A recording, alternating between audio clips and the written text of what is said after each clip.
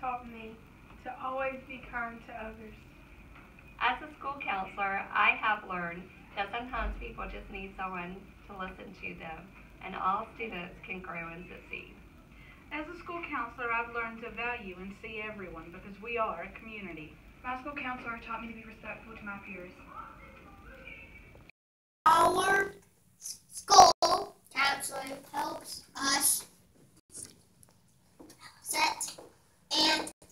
touchy, realistic,